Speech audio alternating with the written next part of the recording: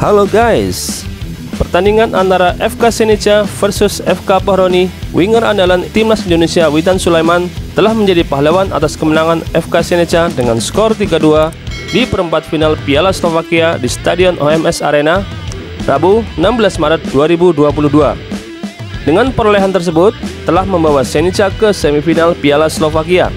Pada laga tersebut, Egi Maulana Fikri berposisi sebagai starter di sisi kanan serangan untuk tuan rumah. Kala itu, Witan Sulaiman masih menjadi pemain cadangan.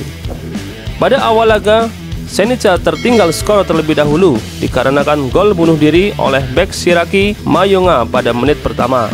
Setelah itu, masuklah Witan Sulaiman pada menit ke-28 untuk menggantikan Egi Maulana Fikri. Namun, Senica tetap kesulitan untuk mencetak gol tambahan di babak pertama. Setelah tertinggal 1-2 pada babak pertama, membuat Senica bangkit di babak kedua.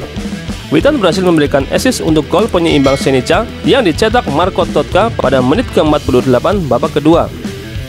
Umpan tarik dari seorang Witan di sisi kanan dituntaskan Totka dengan tendangan mendatar ke pojok kanan bawah gawang Pohroni.